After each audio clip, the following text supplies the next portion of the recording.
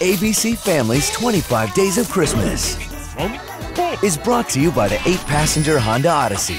Everything you want in one shiny package.